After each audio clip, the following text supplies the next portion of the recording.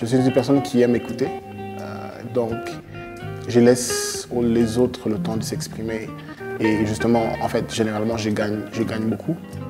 Et donc, euh, je dirais que ce qui m'attire le plus, c'est le côté vrai des personnes, en fait. Ce qui est au-delà du visage, ce qui est plus profond, euh, les expériences, euh, la pensée.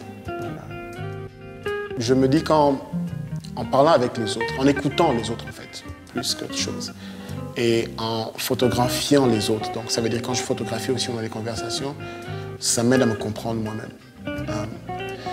Donc c'est toujours par rapport aux autres, c'est toujours par rapport à l'humain. Et c'est pour ça que j'essaie en tout cas de m'entourer des personnes qui m'inspirent. Je pense que comme photographe, surtout quand il s'agit d'un autre niveau, quand il s'agit d'un portrait d'une personne, d'une personnalité, pour ressortir des personnalités, hein, des, sujets, il est important de les connaître un minimum.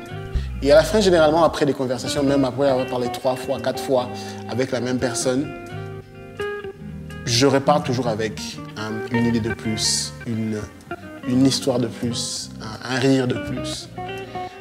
Et c'est euh, une richesse que, ça, c'est une sorte de richesse que personne ne peut te prendre.